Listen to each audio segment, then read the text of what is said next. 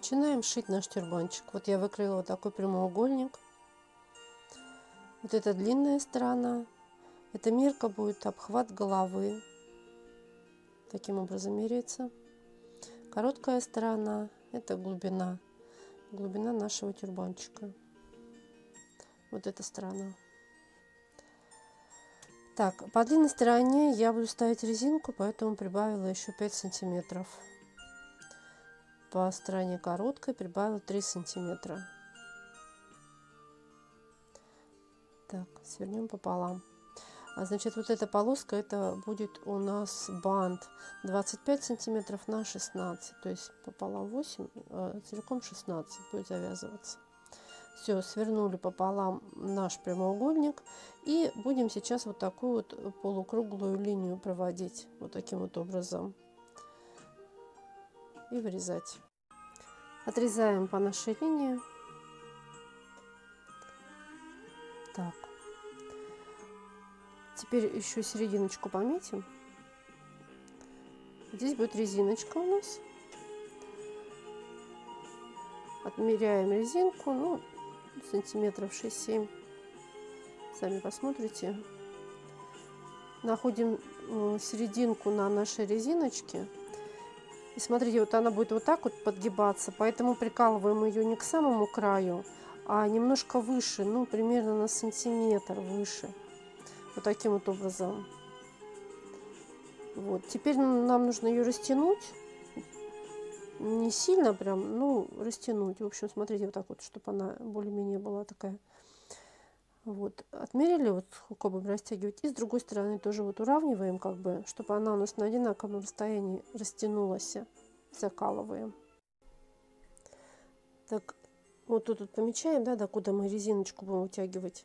Это место иголочкой закалываем. Теперь с другой стороны ровно такое же расстояние откладываем. И тоже иголочку и прикалываем нашу э, резинку с этой и с этой стороны и будем зашивать ее на машинке в этом месте. Вот я закрепила ее смотрите на машинке вот она вот так вот растягивается.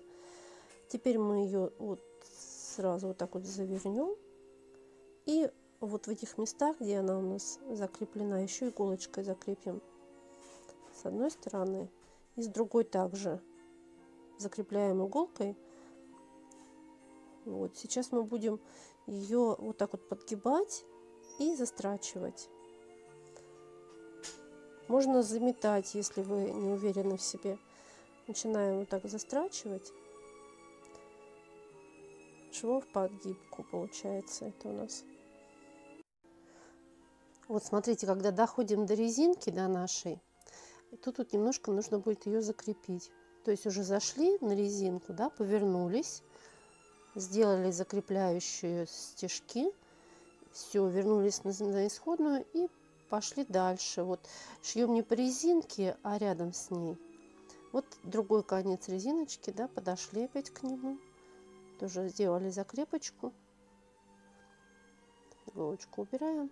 Все, и заканчиваем нашу строчечку, нашу в подгибку.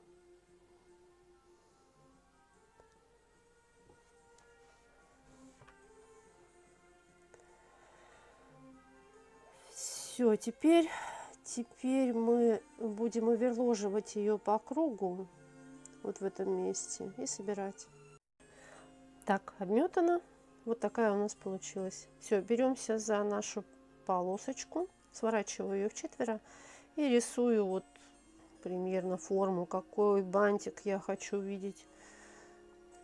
Вот такой вот я нарисую. Теперь я это вырежу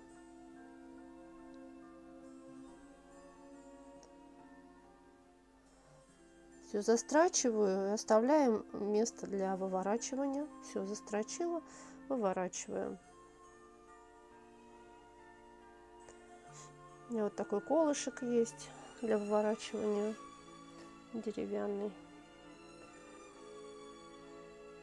Уголочек можно иголочкой подправить, чтобы он остренький был. Выворачиваем и утюжим. Вот я отутюжила. Теперь нам надо зашить наше отверстие Вручную это делаем. Так, наш бантик готов. Берем опять нашу. Будем теперь собирать по кругу ее. Все это я буду делать вручную, делаю двойную нитку. И вот смотрите, как я буду, вот как бы через край. Почему я делаю так? Потому что получается тоньше потом сама сборка. Э, лучше собирается она. Вот. вот я ее собрала, закрепила. И теперь между собой еще вот так вот надо скрепить. Все это теперь вручную только будем делать. Все закрепила.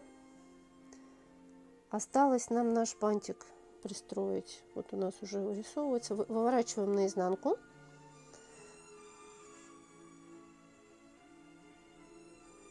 Вот берем бантик. Сначала серединку находим на нем. Вот она серединка.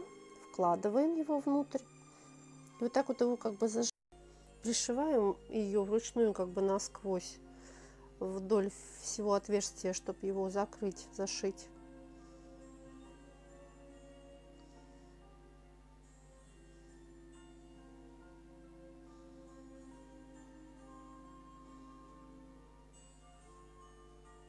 Все, выворачиваем теперь на лицевую сторону.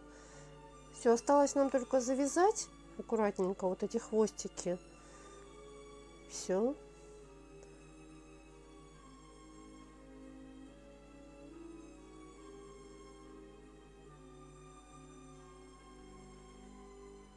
Готово. Померяю на куклу сейчас. По-моему, здорово. Всем удачи!